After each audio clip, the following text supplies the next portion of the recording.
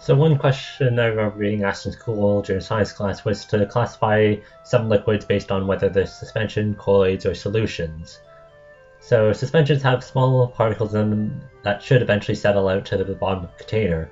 And to find out what tea was, I left a glass of green tea out for about 50 hours. After putting the tea bag it takes a bit of time for the water to change color, and then as you can see it sort of becomes cloudy. That would indicate some sort of solid particles in the water. So nothing really changes much for a while, and it doesn't. It slowly becomes darker and darker, but doesn't really settle out. So the particles aren't really settling to the bottom. I don't really find cloudy tea that desirable, so in order to try to make clear tea, I thought maybe